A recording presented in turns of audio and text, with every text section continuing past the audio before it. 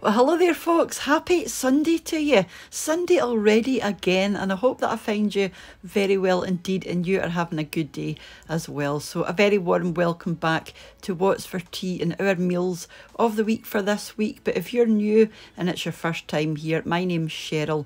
We are a family of four from the west coast of Scotland, and it's just what I've made for the family meals during the week to hopefully give you ideas for you and your own family. And if I've done a video recipe, recipe on any of the meals that you see here. I will leave them linked underneath in the description box. So on Monday, we had tagliatelle bolognese. So this was made with the Quorn mince and I just had to use it up and it actually works really well in these kinds of things, you know, lasagna, bolognese. When you put it in with everything else, you, you really can't tell the difference or we find it hard to tell the difference. So I just combine everything in the one pan, a wee bit of parmesan on the top and we also had some garlic pizza bread side as well. So like I said, I do do my sauce separately normally and then cook the pasta separately and then just combine them at the end when they're cooked.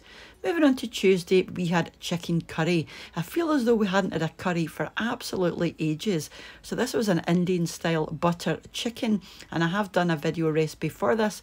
I will leave in the description box underneath. So I had some pilau rice. This is just the Tilda pilau rice, some chips in the middle, a couple of onion bhajis. These were from Sainsbury's and that was that wonderful butter chicken there with some coriander on the top and this was lovely my mouth is actually watering. This looks like an awful lot of food, but these plates aren't as big as you might imagine. And apologies for next door's dog. He's having a bark to himself. Yeah, I will leave the video rest before that underneath. Moving on to Wednesday, we had tuna pasta bake. Again, one we haven't had for quite a wee while, and we all really do enjoy this. And this is using the Colman's uh, tuna pasta sachet, and we had a couple of slices of garlic bread on the side. We love garlic bread with pasta. It just goes so well. And moving on to Thursday, we had chicken hot pot. So I had some chicken that I had to use up and loads of tatties that I'm still, you know, still trying to work through. And I have done a video recipe for this one as well. I will leave linked underneath. So it's basically a chicken stew with layers of uh, sliced potato on top done in the oven and it is really tasty. And we had some mangetout and some baby corn on the side as well. We don't have that baby corn very often, but it is really nice.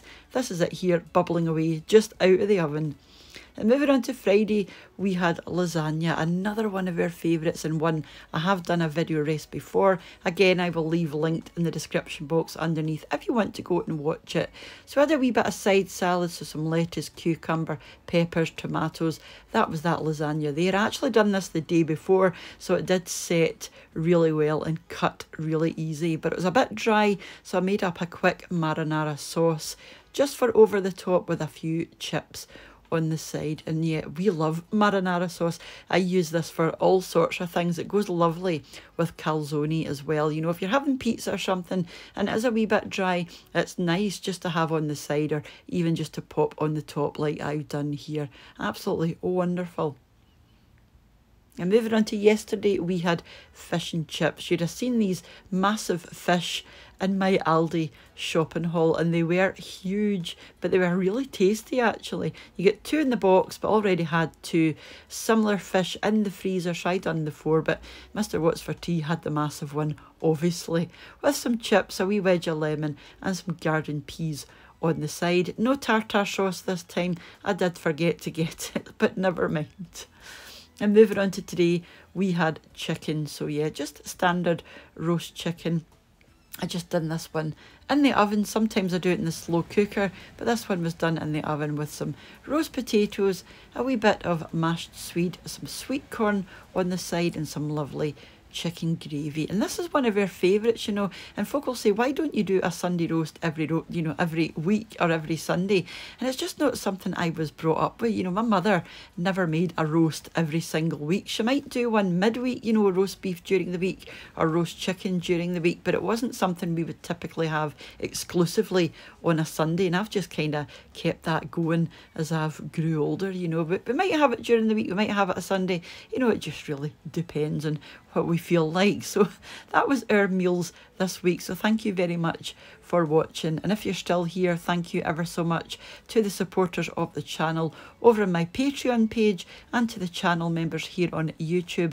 And for you all for leaving your lovely comments. And for those that share the videos as well, you know, it's all very much appreciated. And if you're not following me on Instagram yet, I'm What's for Tea 3 over there. And it would be lovely to see you because obviously I post videos and you know photos and things that don't make it over here to YouTube. And here's a wee clip of Jasper here for those who've been asking to see him. He is alive and well and thriving and he says hello as well. So I'm going to go off now and catch up with you during the week for another wee recipe, shopping and bagging or whatever else comes my way. So you take care of yourselves and I'll see you off as soon back here on What's for Tea. Bye now.